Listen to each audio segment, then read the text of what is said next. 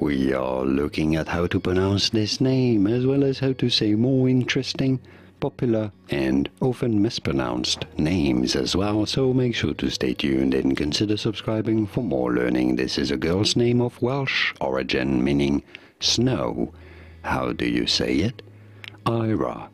Eira. In Welsh, I think it would be said something along the lines of Eira, Eira, but in English, Eira. Eira. And now you know. Here are more videos on how to pronounce more interesting names, Welsh names, Irish names, Gaelic names, whose pronunciations aren't always obvious. I'll see you there to learn more.